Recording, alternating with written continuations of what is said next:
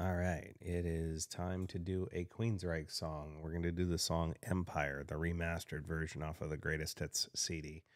Um, I want to hit this song not because it's a deeper cut, because it's not the deepest cut of the band, but it is uh, one of those songs that is every bit as relevant today as it was the day that they wrote it. And um, if you pay attention to the lyrics, uh, there's definitely a message in there. Um, I'm not going to get political as much as I can help myself here.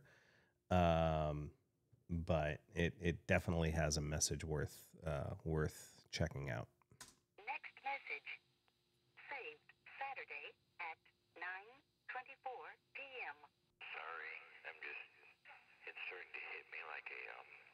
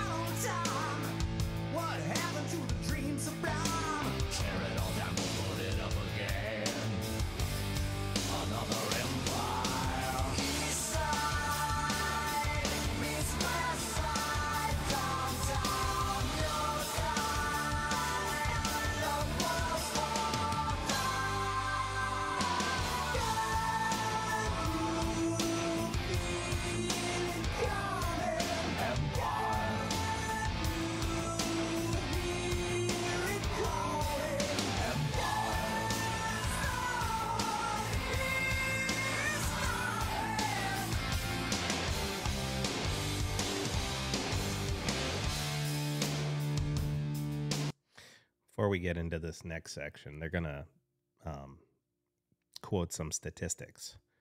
Think about this, though. Those statistics are from the mid 1980s. If you look them up today, they are much, much, much higher today. Uh, I mean, I think, I think the last report I read, the uh, American government spends over eight hundred billion dollars a year on defense. Um, not enough of that goes to the soldiers. I know that much. Um, far, far, far too much money spent on military contractors. Um, not to the benefit of the average citizen. With that said, that's that's as political as I'm going to get. Let's just just know that the statistics are real, but for that time period, and they are much much more bloated today.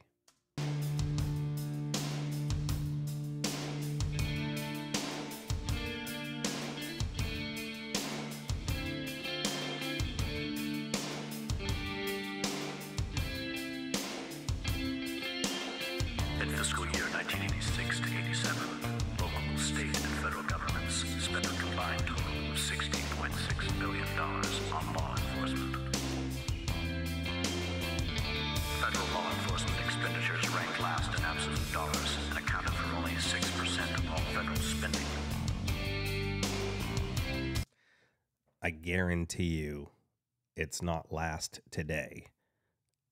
I bet you education is much lower than um, law enforcement spending.